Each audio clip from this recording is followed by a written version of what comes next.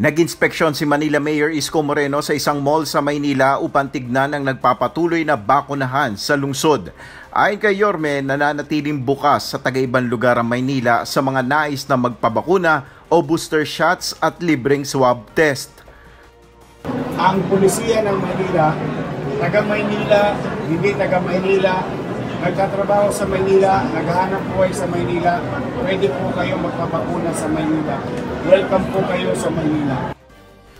Sa kanyang FB post, inanunsyo ni Moreno na pansamantala niyang ihihinto ang kanilang pag-iikot sa iba't ibang bahagi ng bansa dahil na rin sa banta ng Omicron variant. Tututok muna anya siya sa pagtugon sa pangangailangan ng ating mga kababayan.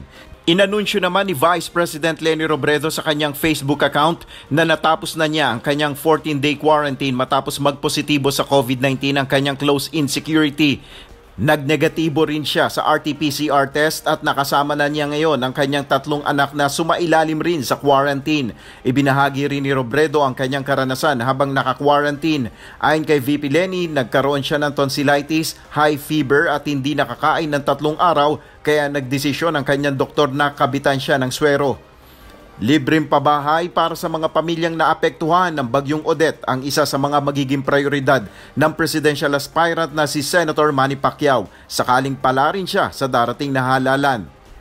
Sa isang pahayag, sinabi ng senador na bukod sa pabahay, dapat magkaroon rin sila ng hanap buhay. Tigilan na niya ang pagpapatayo ng mga relocation sites na inaabando na lamang ng mga benepisyaryo dahil walang kabuhayan.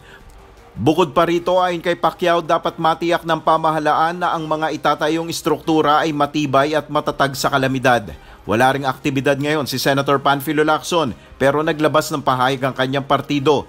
Ayon kay Arnel T., treasurer ng Partido Reforma, hindi sila sang-ayon sa pananaw ng ilan na nagsasabing dapat nang umatras sa kandidatura si Lacson dahil nahuhuli siya sa survey at bigyan daan na lamang ang ibang kandidato para sa hangaring pag-isahin ng oposisyon. Taliwas anya ito sa mga prinsipyo ni Lacson na kanyang pinangahawakan sa loob ng 50 taong serbisyo publiko. Ayon pa kay T, imbes na idaan sa media ang pasaring sa kanilang standard bearer, dapat tumanong tumayo ang mga kandidato sa kanilang sariling prinsipyo para makuha ang boto ng mga Pilipino sa darating na halalan. Sa Facebook post naman ni Ferdinand Bongbong Marcos, nagpaalala siya ng kahalagahan ngayon ng COVID-19 testing dahil anya sa kakaibang karakter ng Omicron variant batay sa pagsusuri. Huwag anyang baliwalain ang maliliit na sintomas at agad na makipag-ugnayan sa health professionals.